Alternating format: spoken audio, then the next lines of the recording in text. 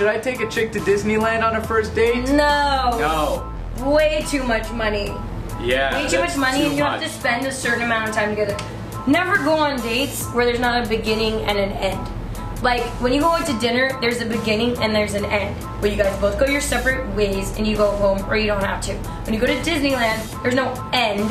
It's just you and her at this place for an unknown amount of hours.